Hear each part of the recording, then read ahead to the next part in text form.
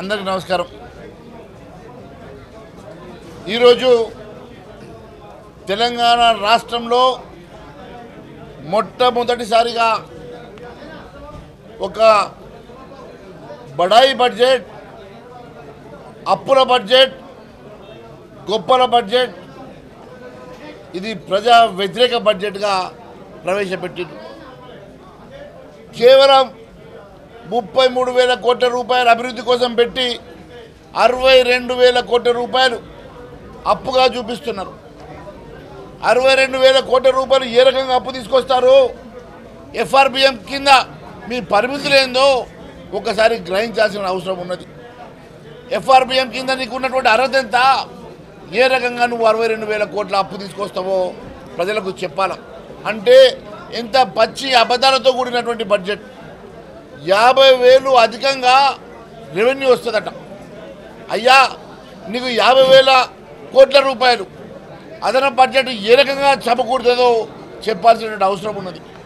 యాభై వేల కోట్ల రూపాయలు అదనపు బడ్జెట్ రెవెన్యూ వస్తుందని చూపిస్తావు. అరవై వేల కోట్ల రూపాయలు అప్పు వస్తుందని చూపిస్తావు. ముప్పై మూడు కోట్లు మాత్రమే ముప్పై మూడు వేల కోట్లు మాత్రమే ఖర్చు అభివృద్ధి కోసం చేస్తున్నట్టు చూపిస్తావు. అంటే ప్రజానికాన్ని ఏ రకంగా మోసం చేస్తా ఉన్నావో ఈరోజు ప్రజలు గమనిస్తూ ఉన్నారు అని తెలియజేస్తూ ఉన్నారు. అప్పులు కుప్పలుగా పేరుకపోతూ ఉంటే మరిన్ని అప్పులు చేసేటువంటి ప్రయత్నం చేస్తూ ఉన్నారు. మీరు ఇంకా ఈ రాష్ట్రాన్ని అధోగతి పాలు చేసి దివాలా తీయించే తరఫు మీరు దీని రాష్ట్రాన్ని తీసుకెళ్తా ఉన్న సంగతి తెలియజేస్తూ ఉన్నాను.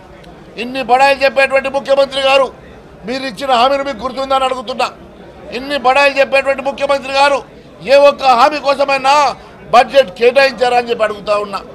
ఎక్కడ కూడా ఇచ్చిన హామీల విషయం మర్చిపోయి ఇచ్చిన హామీల ప్రకారం బడ్జెట్లో కేటాయింపు లేకుండా కేవలం ఈ రాష్ట్ర ప్రజానీకాన్ని మోసం చేసే ప్రయత్నం చేస్తున్నమాట వాస్తవం కాదని అడుగుతున్నా.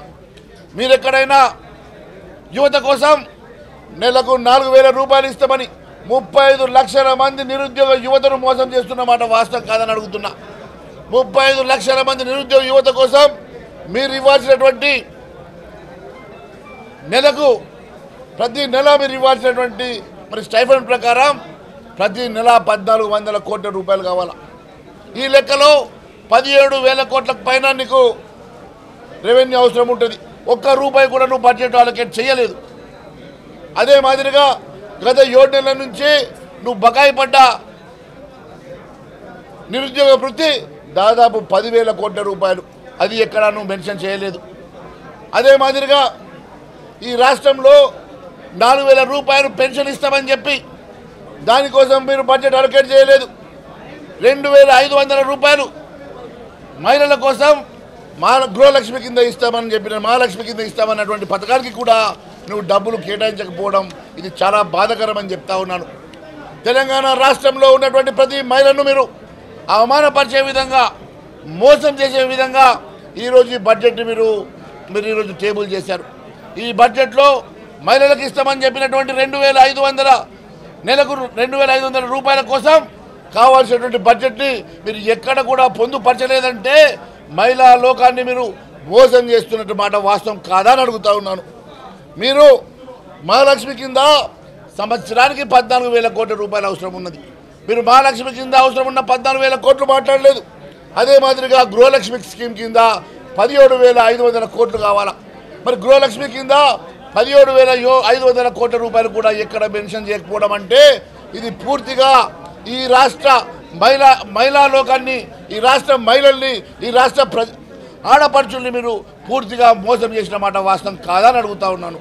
అంతేకాదు చేయూత పథకం కింద నెలకు నాలుగు వేల చొప్పున నలభై నాలుగు లక్షల మందికి మీరు ఇవ్వాల్సినటువంటి బడ్జెట్ అంశంలో కూడా మీరు ఎక్కడ కూడా పొందుపరచకపోవడం కూడా చాలా బాధాకరంగా ఉన్నది. మరి ఈరోజు సాగునీటి ప్రాజెక్టులో ఓటాన్ అకౌంట్లో మీరు ఇచ్చినటువంటి ఫిగర్లో దాదాపు ఆరు వేల కోట్ల రూపాయలు తగ్గించడం వెనుక మరి మతలం ఏంది అని అడుగుతా ఉన్నాను. అంతేకాకుండా అరకొర నిధులతోటి ఏ రకంగా మీరు మరి ఇరిగేషన్ ప్రాజెక్ట్స్ని ముందుకు తీసుకెళ్తారు? ఏ రకంగా మరి దానికోసం బడ్జెట్ కేటా ఎందుకు తగ్గించారో? చెప్పాల్సిన అవసరం ఉంది. యావత్ బడ్జెట్ అంచనాలు రెండు లక్షల తొంభై ఒక్క వెయ్యి నూట యాభై తొమ్మిదిగా చూపిస్తున్నావు.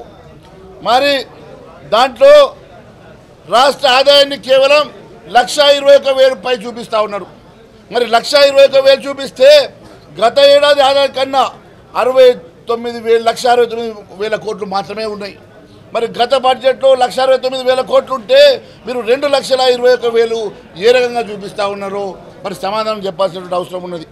ఈ రకంగా యాభై రెండు వేల కోట్ల రూపాయలు అదనంగా చూపిస్తున్నారంటే ఈ యాభై రెండు వేల కోట్ల రూపాయలు అదనపు రెవెన్యూ ఎక్కడి నుంచి వస్తుందో మరి రాష్ట్ర ప్రజానీకానికి చెప్పాల్సినటువంటి అవసరం ఉన్నది. అంతేకాకుండా అరవై రెండు వేల కోట్ల రూపాయల అప్పు కూడా ఎఫ్ఆర్బిఎం పరిధి దాటి ఏ రకంగా తీసుకొస్తారో మరి ప్రజానీకానికి చెప్పాల్సినట్టు ఉన్నది.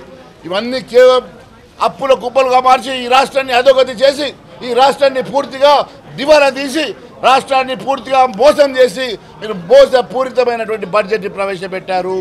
ఈ బడ్జెట్ ప్రజా వ్యతిరేక బడ్జెట్ అభివృద్ధికి ఎక్కడ స్థానం లేనటువంటి బడ్జెట్ అభివృద్ధి గురించి పలకని బడ్జెట్ అభివృద్ధి గురించి మాట్లాడిన బడ్జెట్ ఇది కేవలం కొడంగల్ కోసమే బడ్జెట్ ఇంకా దేనికోసం కాదు ఇది కేవలం ముఖ్యమంత్రి గారు ప్రజా వ్యతిరేక బడ్జెట్ని ప్రవేశపెట్టి అప్పుల బడ్జెట్ మాత్రమే ప్రవేశపెట్టినట్టుగా భారతీయ జనతా పార్టీ తరఫు తెలియజేస్తా ఉన్నాను.